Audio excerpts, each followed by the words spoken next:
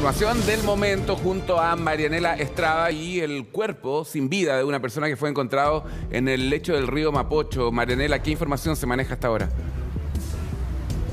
Muy buenas tardes, Karim. Te muestro de inmediato qué es lo que está sucediendo hasta ahora en la comuna de Providencia. Esto precisamente en el río Mapocho, más o menos a la altura de eh, las Torres de Santa María, más o menos a la altura del Hotel Sheraton, un poco antes de llegar allí eh, en el río Mapocho. Está trabajando carabineros y bomberos en el rescate de un cuerpo que fue divisado precisamente por una ambulancia de la comuna de Lobarnechea que venía pasando por el sector. Logran divisar este cuerpo que estaba en el río Mapocho inmediatamente llaman a carabineros quienes acuden para verificar esta información y se percatan que efectivamente es así. Se trataría, eh, según la información preliminar, de un cuerpo de un hombre eh, que hasta el momento no ha podido ser verificada su identidad, tampoco su edad. Lo que nos comentaban eh, bomberos y la policía es que aparentemente no tiene lesiones de terceras personas y en este momento Bomberos está trabajando en su rescate porque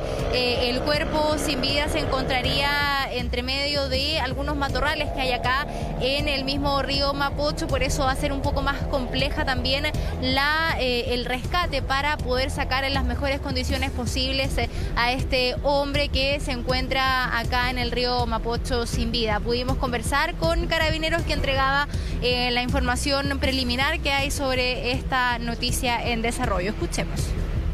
El cuerpo sin vida, al parecer un, individuo de sexo masculino, eh, fue encontrado o divisado por una ambulancia de la municipalidad de Loarnechea que pasaba por el lugar. Que llamó obviamente a la central de carabineros y nosotros eh, pedimos la cooperación de bomberos para poder determinar la identidad de la persona no hay intervención de terceros, no se presentan lesiones visibles. Al momento, con la información preliminar, eso no se mantiene y es materia de investigación por parte de la Fiscalía.